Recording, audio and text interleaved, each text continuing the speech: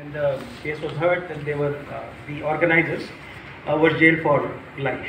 Okay, so there you see uh, workers are struggling, workers are fighting, but the manner in which uh, the current regime comes very heavily upon workers, criminalizing workers' resistance, and this is happening across the country. They are going after. This is not kind of you know. Um, um, kind of um, popular political narrative, but it has become um, a kind of uh, you know kind of an idea that seems to appeal to the middle class. Okay, so now if I were to problematize this idea that how to organize um, and if you were to really talk about the limitations to this, that how to organize people, then it is not only about capitalists and workers, but it is also about the society that exists around, the middle class.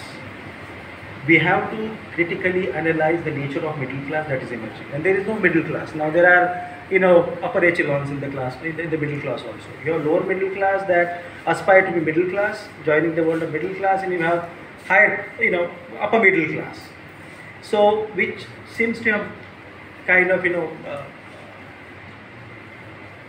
seems to have acquired this understanding that, uh, you know, all this, you know, uh, all this privatization that is happening and, and, and, and, and rapid shrinking of this, the control of the state on this um, privatized affairs uh, is, is something which is highly desirable.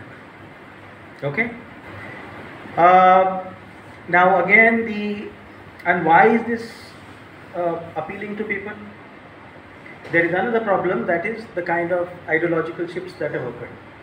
Uh, not only here but in other parts of the world, but the right wing in this country is more regressive and more archaic. Okay, that is uh, that is more dangerous. Okay, it doesn't really uh, it is it doesn't really talk about. It doesn't want to uh, sit across the table and talk. It is on the contrary criminalizing if there is any political opposition. Now, any civilized society, you have this basic discourse that you talk to each other. But this regime or its foot soldiers are terming people who want to secure the rights and the privileges of the working class.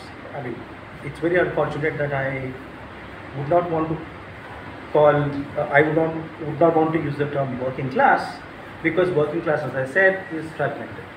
Okay, you have a very uh, secure, privileged working class, uh, and on the other hand, you have extremely vulnerable um, masses or the multitudes. Now, how to address this problem? I mean, the, the, the, the, the title to this talk is extremely catchy, extremely interesting, you know. But when you look at the kind of working conditions that exist, he gave um, an example of domestic workers. But there have been other sectors, construction industry, for example, sanitation workers, for example. We have heard, um, you know, uh, extremely uh, shocking narratives here on the campus itself that how people having spent their labor power continue to be denied wages. Okay? Now, how, I mean, what could be more outrageous than this? That you work, you deserve wages, but then you're not paid wages. This is not only this is not only uh, you know this is not a phenomenon that is found in this university. This is everywhere. I work in Bombay. Um, I see municipal corp. I mean. Um, uh, municipal corporate uh, manual scavengers, sweepers in Bombay Municipal Corporation. Most of these workers are contract workers. They are on contract. They work alongside the permanent um, counterparts of comrade, whatever term you uh, you choose to use. And this is something shocking that I also because I, I pointed out, quoting Hobsbawm, that this labor aristocracy. 30, 40 years ago, this term would not have any relevance. But the manner in which the Indian economy is being uh, freed from the, from the control of the state and privatized, you have this phenomenon called aristocracy uh, is very visible and prominent. Now, how to resolve this problem? formal sector, the formal sector is rapidly shrinking. Informal sector is spreading like wildfire. And informal sector is also not an homoge- not a homogeneous entity. Our struggle becomes doubly, triply difficult because this this sector, unorganized sector, that is a, a you know we call, is highly fragmented, heterogeneous, and it becomes difficult even if you think of organizing them.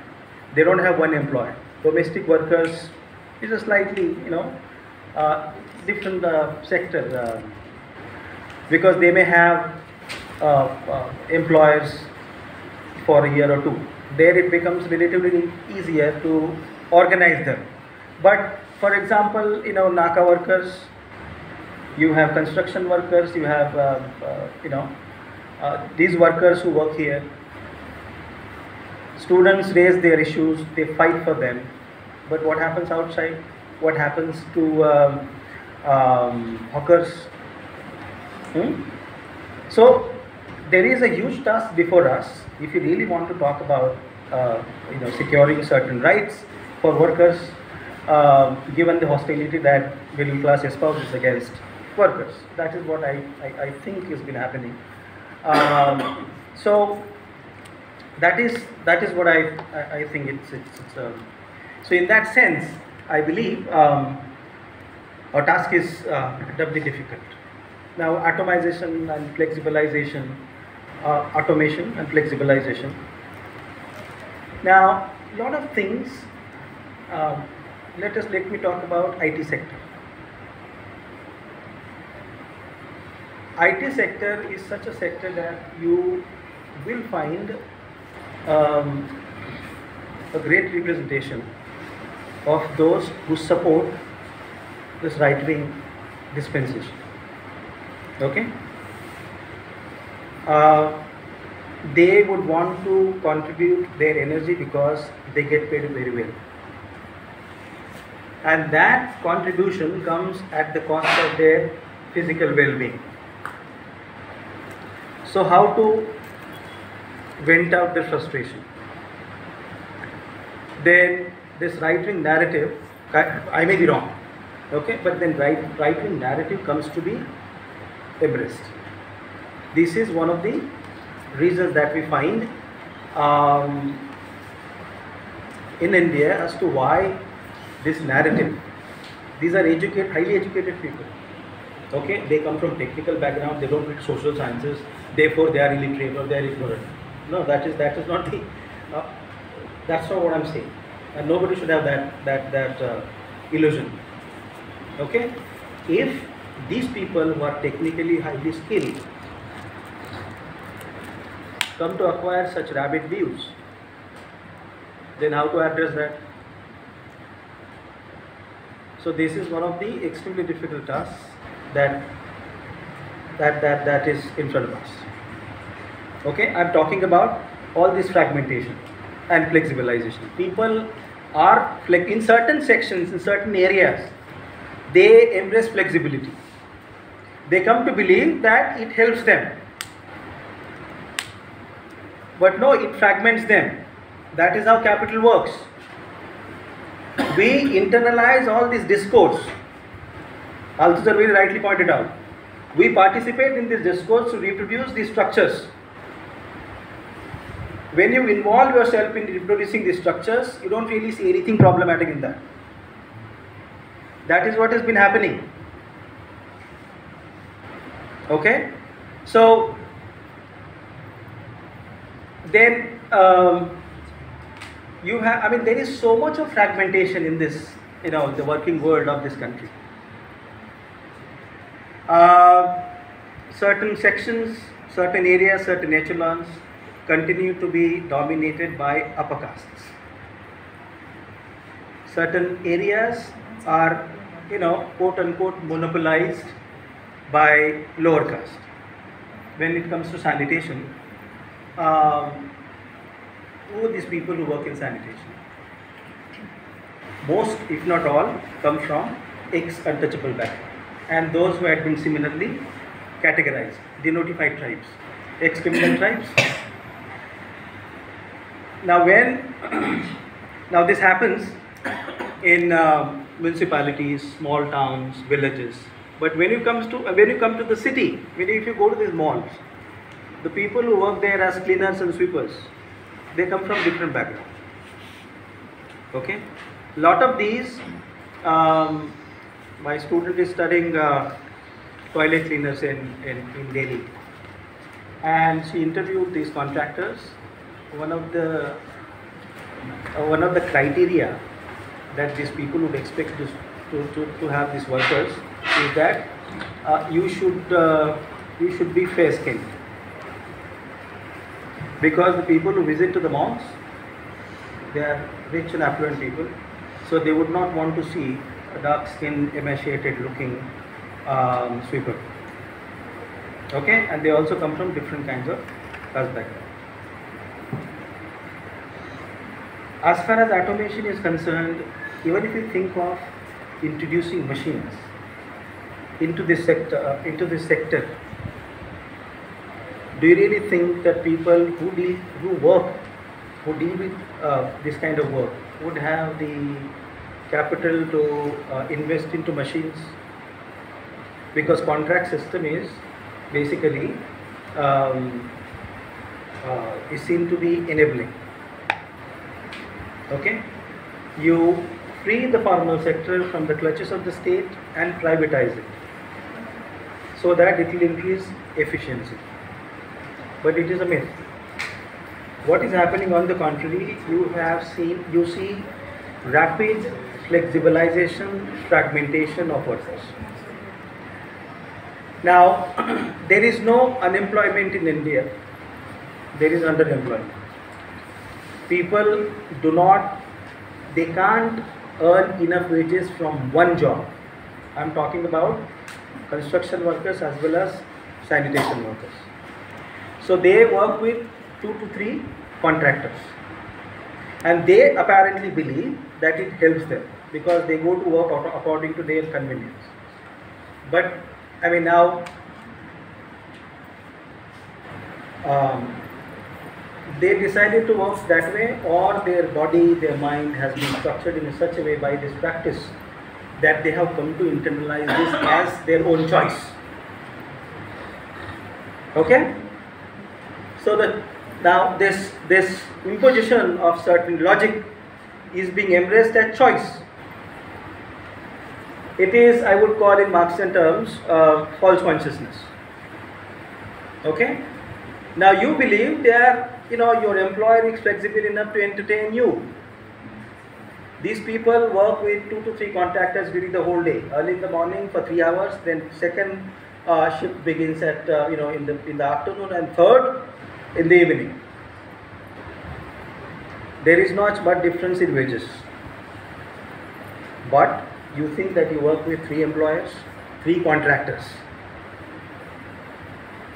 and we have seen in, in the context of JNU how contractors and these institutions that hire these contractors uh, harass and play footsie between themselves. Okay?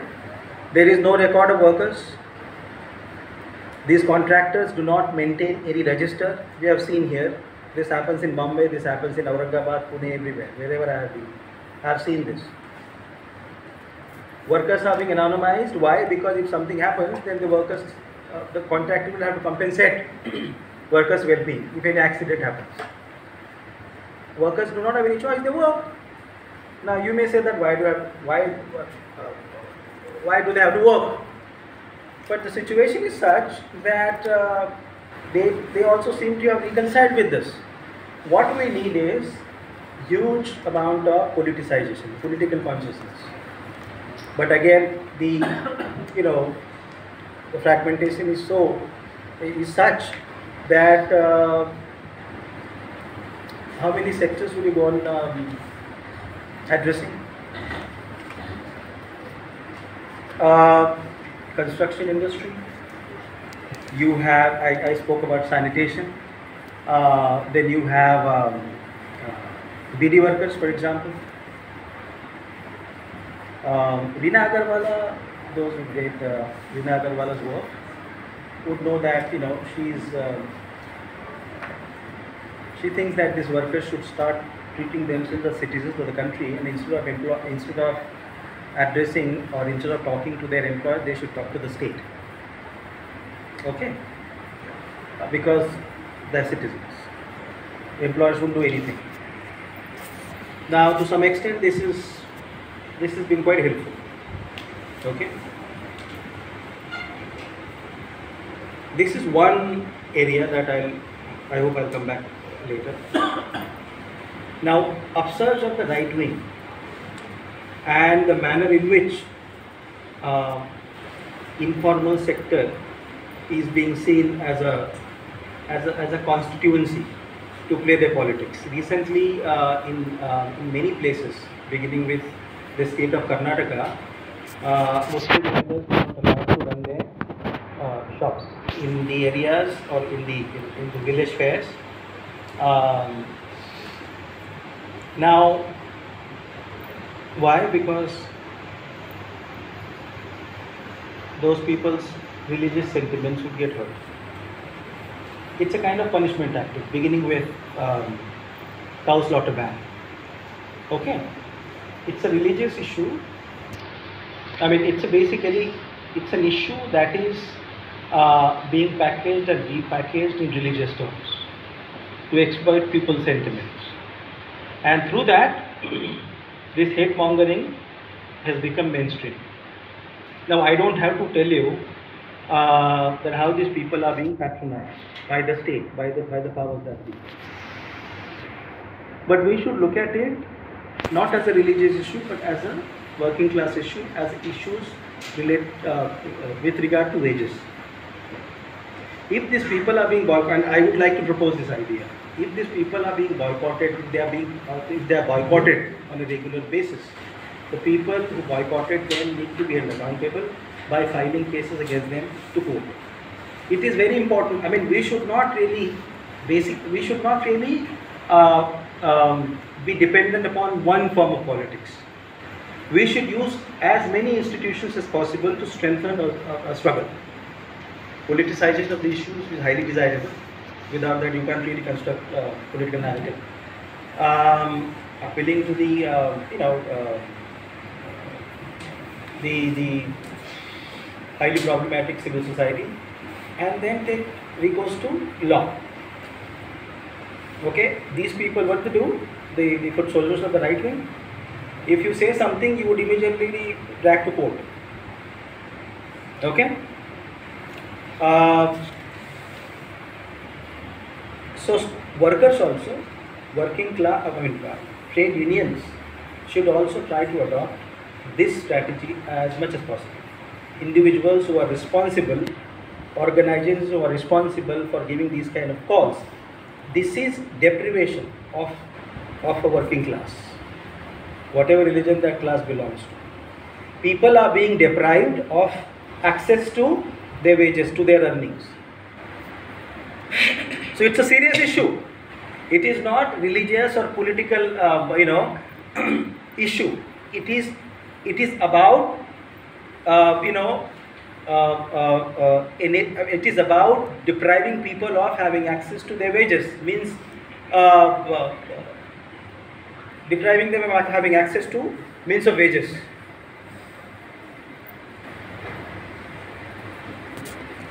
So politicizing is one thing, taking recourse to law is another.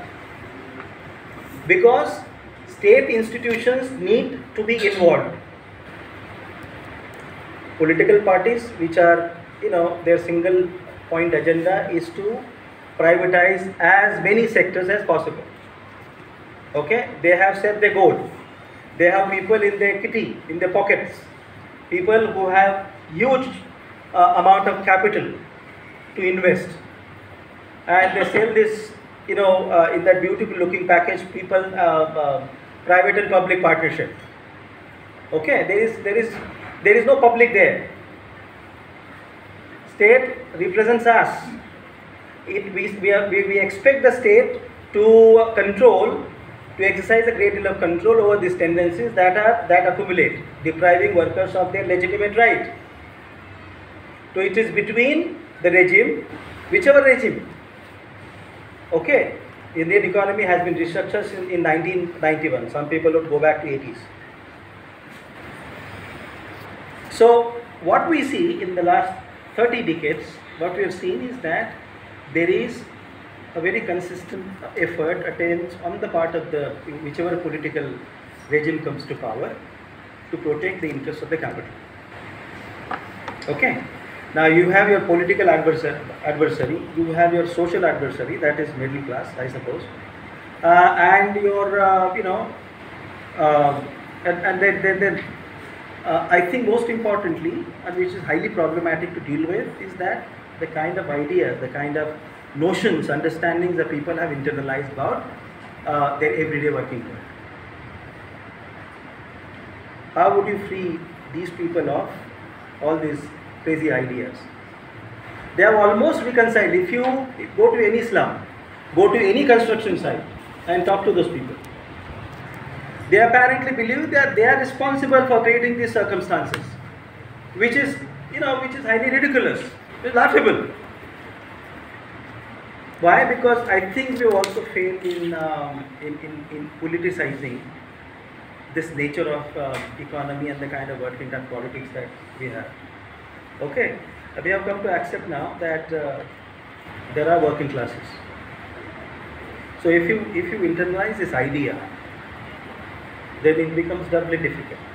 We'll have to empty people's mind. We have to be, you know, it's a it's a huge Herculean task. Okay. Now, entertaining socialist ideas that having a very strong state exercising control over economic affairs of the state. People, um, people laugh at us. Why? Because the rampant privatization of India's economy is so rapid, so rampant that uh, it becomes difficult. And the kind of uh, political representation. Uh, if workers lose faith in these egalitarian ideas in politics, I believe I believe that uh, these people, informal sector people, would want political representation. But then, as I pointed out before, that it is a very big task uh, for us to create that kind of consciousness. Two clerks working in the same office, one is permanent uh, and the other one is temporary. The permanent guy has no qualms in exploiting his own subordinate, uh, his own counterpart. Forget about sanitation workers who come from certain kind of background uh, and another set of workers who say for example um, uh, there's, there's these people who work in IT, IT sector. It is very difficult to see the sense of uh, belonging to the same world. It's highly um, desirable idea. But it seems that uh, people don't really find it very desirable. And not because uh, they would want it to be like that, but the discourse is such that they have acquired this logic of securing their own interest. Okay? So think of uh, these JNU sanitary staff, I mean sanitary workers who are hired, and those who are hired for clerical work temporarily. These people have been struggling for uh, six, seven months, more than a year. Okay, the last mania, uh, it started all during this time. I would expect, or I would have expected uh, this temporary class coming out in their support. Why did not it happen? Caste continues to exist in this country, whether you like it or not. Okay, we continue to believe that certain kind of work needs to be done by only those, you know, they have been born to uh, clean your shit. We are, we are talking about 21st century, and this is a reality. So the moment this sector is mechanized, do you really think that uh, uh, these people are going to be liberated from this from this hellhole? A few years ago, there is a small town in Karnataka, Gulbarga. So the Gulbarga Municipal Corporation decide, municipality decided that uh, uh, it would invite uh, tenders from contractors to give contract work, sanitation work, cleaning shit and all of that. So one sanitation worker who appeared to be politically quite conscious decided that he would also file his papers, apply for contract. He didn't get it. So the solution to protest, the solution that he found was to protest. And in what form, in what manner? He smeared his entire body with human excreta and went and protested in front of those municipal officers. What was the result? Municipal officers filed a police complaint against him saying that he hurt their sentiments because you know foul smell, foul smell uh, hurt their sentiments. The guy was arrested. Later on, this whole issue became acquired, you know, get political overtones, and then he was released. But this is what has been happening in this country. So even if you think of mechanizing, introducing machines to deal with this kind of work, what would happen to these people? In fact, it should happen. This sector need, needs to be mechanized. Machine needs to be introduced. At least these people would stop going into the halo. But then another moral question that arises: What would happen to their, uh, uh, you know, living? Where would they find work? The state should, at least to those who work in this section, uh, in this in this sector, should provide alternative uh, mechanisms. Give them bank loans to start. But then the problem again that then who do this work? I seriously doubt in the next 20-25 years this sector is not going to be mechanized. Why? Because there is a mindset that believes that uh, you know this is and that mindset is I think getting stronger and stronger because of the kind of political regime we have. We talk about Swachh Bharat. Okay, what is the solution to keep Bharat Swachh? Construct more toilets. And who clean those toilets? Dalits or those who have been working. So all this, you know, this narrative uh, uh, is not something that only the regime is responsible, but the society at large um, needs to be, you know, needs to think. But you know, the caste is so, and the, the caste system is so strong in this society that you don't really want to dethrone or upstage this legacy that you have inherited from your earlier generations. Wherever Indians have gone, it, whether it is the UK or the US, wherever upper caste Indians have gone, lots of these recent examples will tell you that these people practice caste. Cisco's example, most recent. Google did not want to discuss caste because it is anti-Hindu. Uh, Dalits of, you know, uh, I mean, um, British Dalits, a very strange term, British Dalits. They tried to introduce anti-caste bill in British Parliament. The foot soldiers of Hindu right wing didn't let that happen. They influenced the political class, British political class, and then the bill was defeated. So all this purity pollution nonsense spreads. So in these countries, there, now how difficult, doubly difficult that job for political activists like us here to address this issue. So it is not only about um, capitalism. Capitalism is also, uh, uh, you know, kind of um, uh, It's both. It is both capitalism as well as Brahminism.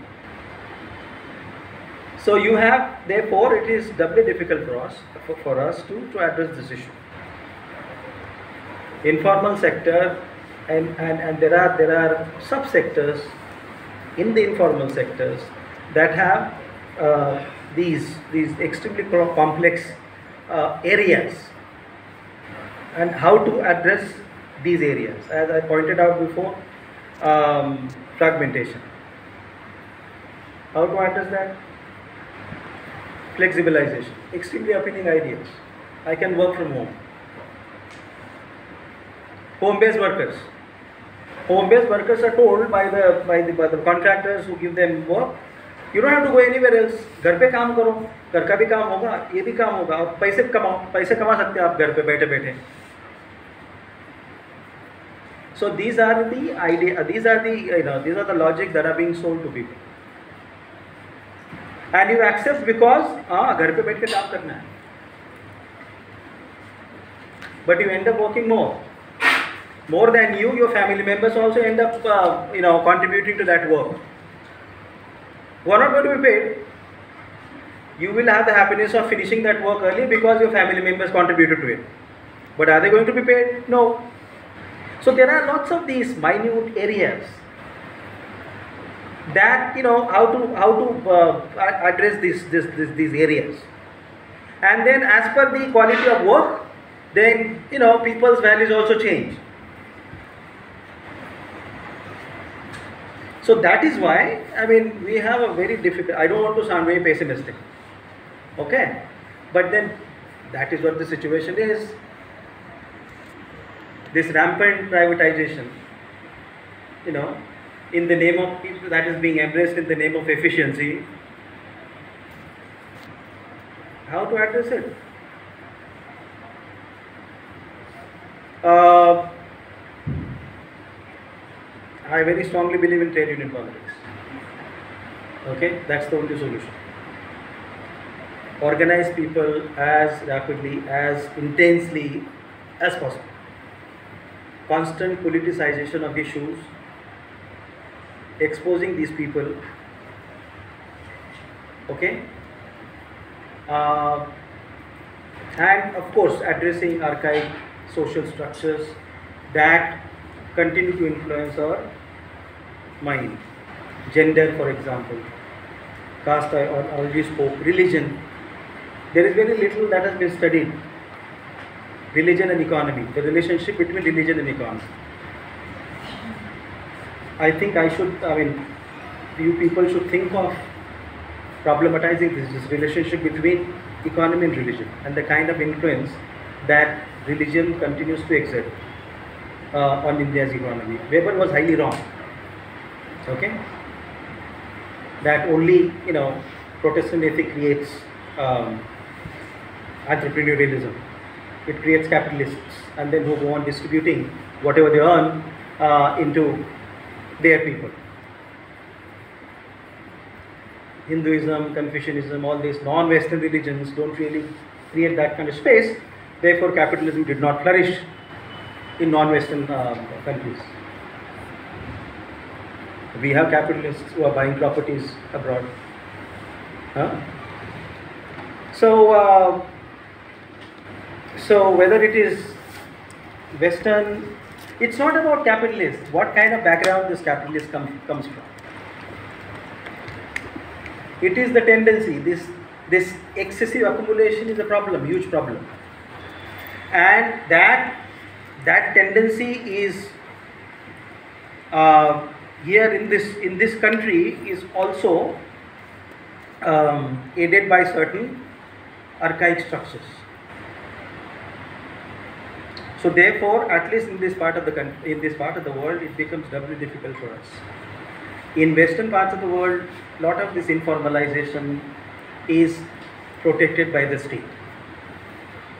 Even in this country, for example, I mean, um, what's the name? Um, I'm forgetting the name of that scholar who studied malls in Calcutta. Uh, from Cambridge. Oh, So there, uh, these people, these young educated workers take it upon themselves to increase more profit so that they are going to be rewarded highly. There you will find some difference. You know, their their their their health is protected, their wages are are, are better. But again, it is it is at the cost of um their own body and mind physical well-being. So exploitation is rampant everywhere. But some people do not really talk about it because they get paid more. In areas, sectors that deal with a lot of manual labor, there is exploitation, but people have become so vulnerable that if, if, if they think of protesting, they think that they are going to be dismissed from work because there is no protection. State doesn't really care about um, them, their interest. What what happened in um, I pointed out before, the state of Haryana blatantly supported the Maruti Suzuki company management. Allowed police to enter the, the, the, the company's premises, and then police went on beating people up, arresting them, and then the rest is history. So if you talk in favor of in, in support of workers, then your politics is also going to be criminalized. And we have seen that here. Okay, we have seen that in what happened, uh, uh, you know, against uh, this anti-CAA protests. People are systematically hounded out, arrested, and some of these people are still in jail. But on the other hand, you have foot soldiers of this regime. They enjoy extra privileges. Okay, so it basically it is it is both this this uh, you know capitalistic tendency and religion, but at the same time uh, this traditional structures that continue to um, give a very rabid identity to the religion that is practiced here. So therefore, it becomes uh, you know I, I'd like to come back to this idea that you titled um, crazy leftist idea, which is highly appealing to everyone. But given the given the nature of India's economy that exists out there, we need to ensure uh, having a Sunday as a holiday is not enough. Protecting the well- well-being of these workers, solid, robust protection in terms of access to health, uh, you know, benefits, uh, regular wages, protection if they meet with an accident while working. These are basic things. Any human being that sees another human being in pain or, you know,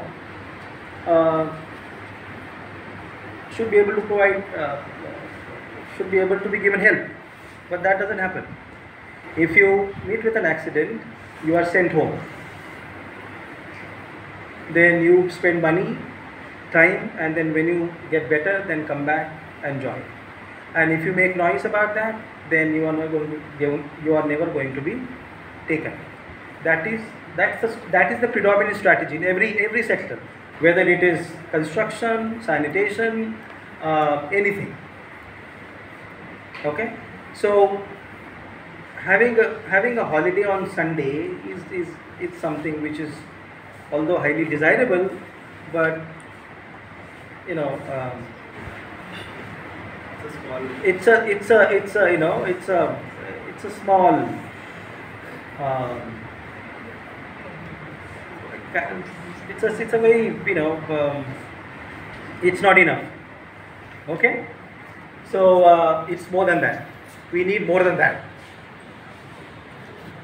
Uh, well i think i should stop here and if you guys have any questions i can go on i have no problem but then uh, yeah, thank you.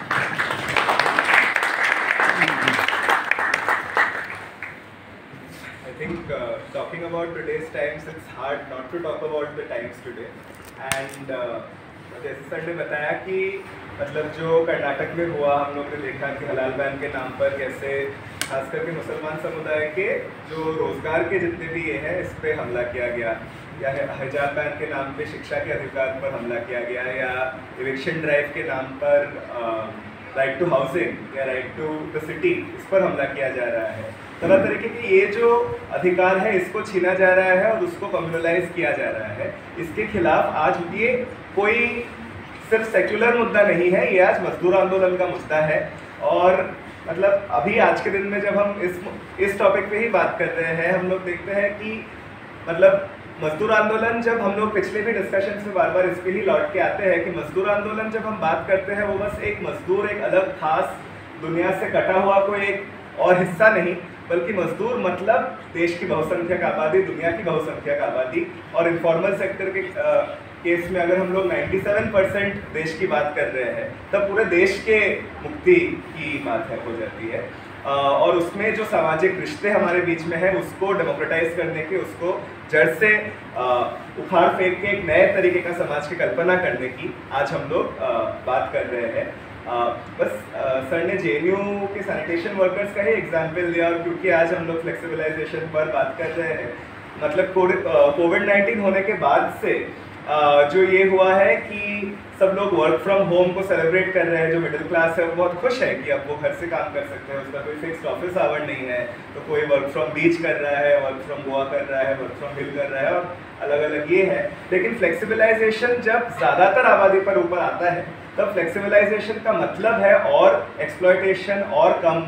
Work और पिछले महीने ही जब जे के सफ़ाई कर्मी strike पे गए, उनमें से एक जो मांग था, वो था 26 दिन का पेड वर्क मतलब वो डिमांड ही था कि हम लोग को और काम दिया जाए, कि क्योंकि अगर हमको और काम नहीं दिया जाएगा तो हमारी चटनी होगी या हमारे वेतन पर हमला किया जाएगा.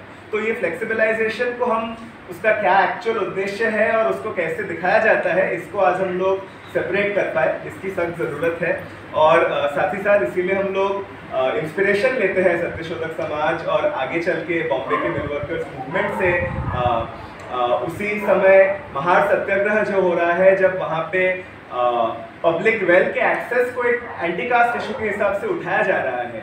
या उसी तरीके से जब बॉम्बे के बस्तियों में, चौल में डेजली रोड फ्रेंड सर्किल बन रहे हैं, तरह तरीके के और संगठन बन रहे हैं जो केवल फैक्ट्री के अंदर तक सीमित नहीं है, लेकिन जिस दुनिया में मजदूर वर्ग आबादी रहती है, वहाँ तक जाके संगठित करने में मजदूर आंदोलन एक भूमिका पालन कर रही है। कॉमरेड आर मोरे से लेके बाबूराव बागुल और भी अलग अलग शहीद हुए इस मूवमेंट में। तो इसको याद करते हैं। बस एक अनाउंसमेंट करना चाहूँगा। आगे हम श्योर सबका ही सवाल होगा। सर के लिए क्वेश्चन आंसर सेशन में हम लोग जाएँगे।